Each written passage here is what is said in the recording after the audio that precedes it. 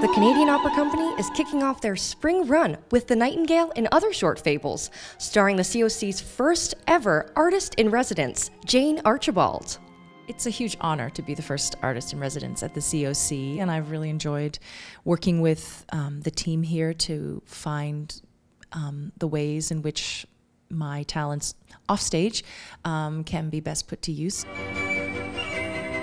Strauss and Mozart, my my first two roles this season were familiar territory for me. I sing a lot of both of those composers, but The Nightingale is a very different kettle of fish. It's uh, in Russian. It's my first Russian role. So this is a really interesting production. It's unlike anything I've ever done before in opera because the um, orchestra pit, which normally houses the fantastic COC orchestra, is turned into a pool, and there are um, puppeteers in the water, a lot of singers in the water, and the orchestra is behind us.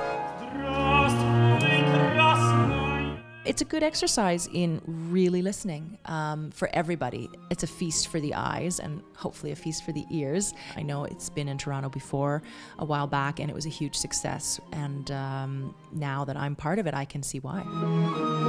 The Nightingale and Other Short Fables is on stage at the Four Seasons Centre April 13th to May 19th. For tickets, visit coc.ca. In Toronto, I'm Karley Saagi for the new Classical FM.